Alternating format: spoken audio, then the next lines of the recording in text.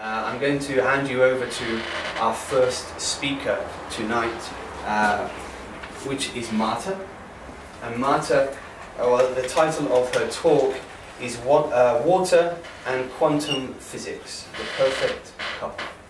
So I'm going to hand over to Marta.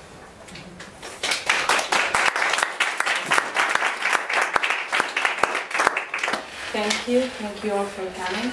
Didn't expect uh, so many people, so thanks, I do appreciate it.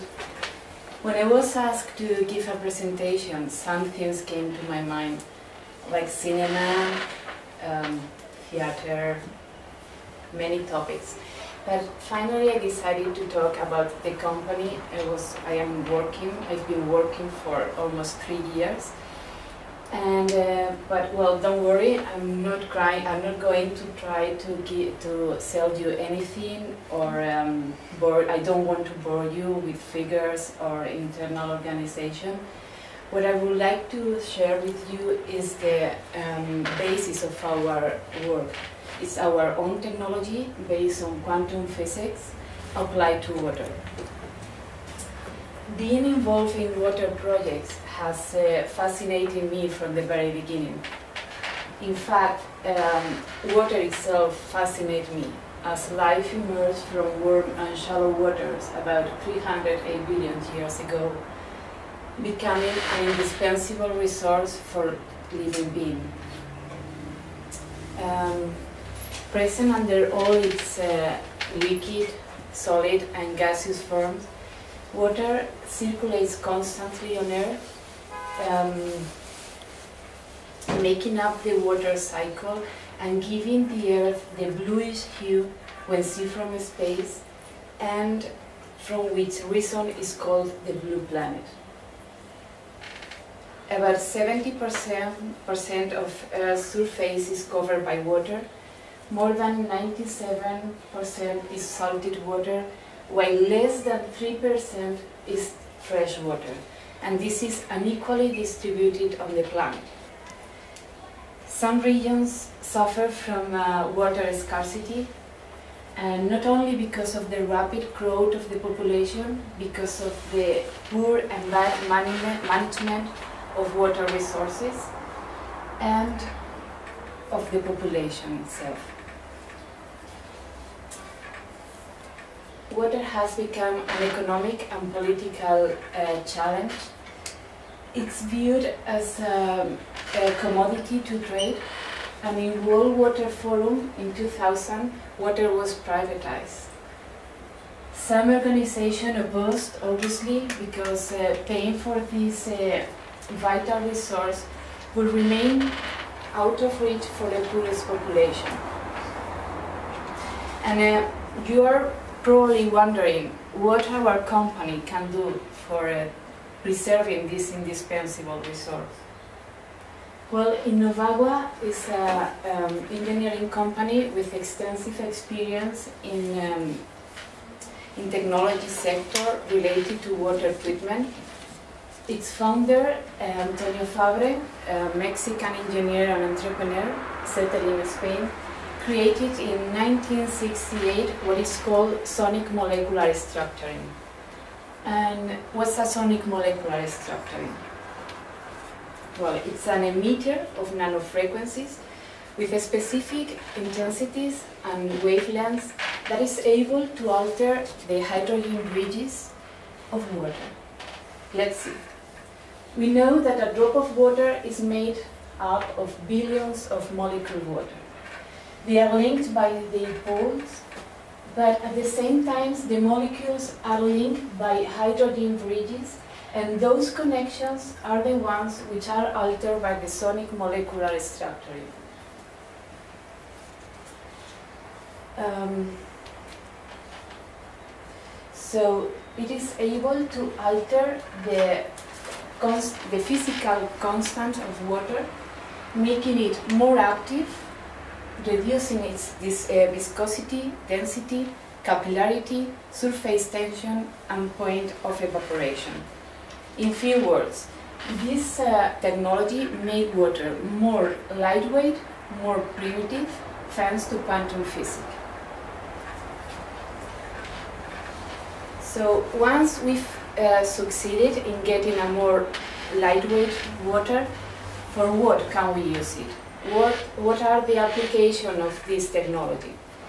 Well, this can be applied to a large uh, areas as we are surrounded by water, like uh, community irrigation communities, hydroelectric and thermoelectric plants, agriculture, water for human consumption.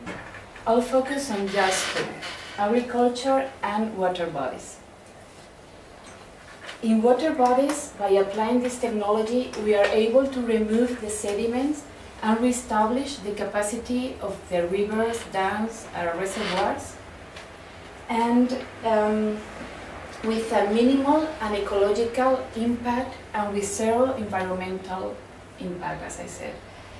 Um, and also with the possibility to reuse the sediments as material compost wherever is possible and necessary. I'll show you a short video to see how it works.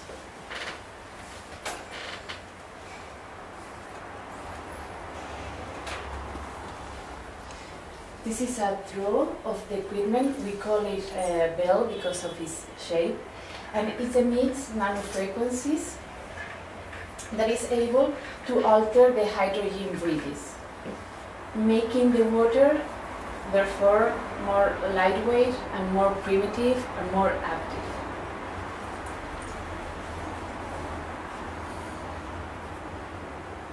Once it's into the river, it's able to uh, rehydrate the sediments which are naturally swept by the flow with a completely harmless procedure.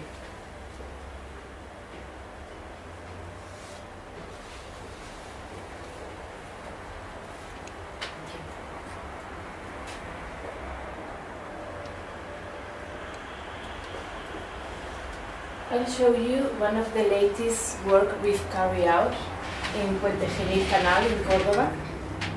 This is a canal that supplies water to a large area of uh, farming. This is how it looked like. As you see, it was full of sediments and weeds, making it hardly navigable. We installed the equipment, the bells, in those areas where um, the flow was bigger and we could access.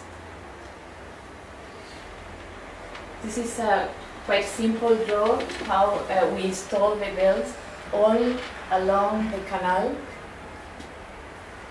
And after some months, the sediment were removed. The canal recovered um, the volume of uh, its flow and the quality of the water, what is very important because, as I said, um, it's used for agriculture. And this is precisely the other area I would like to talk about because the benefits we obtain with this technology are also remarkable. This is one of the equipment for agriculture. We make water pass through it and then water the field. So we obtain greater capacity of humidity retention in the ground. The plants assimilate better the nutrients, what means larger crops, richer in taste, with longer life.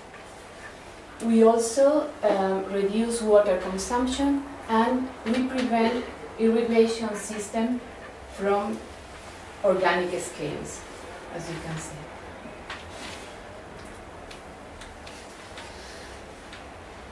We've uh, carried out some or many proofs and studies at universities and uh, official or organic um, institutions where these results have been certified.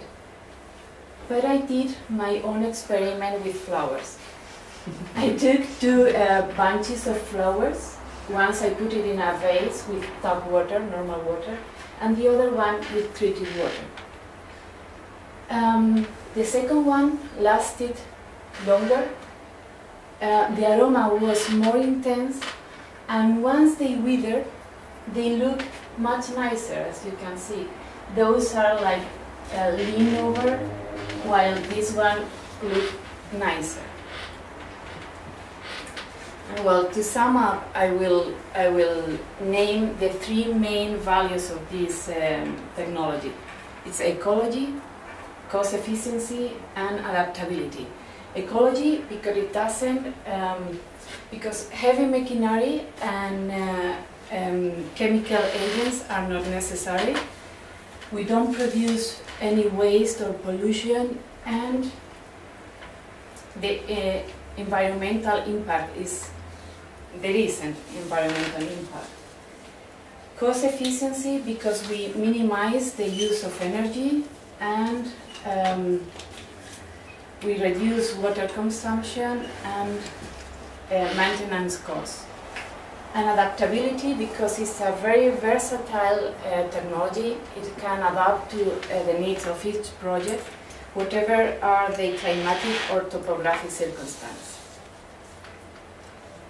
And before finishing, uh, I would like to make a brief uh, reflection.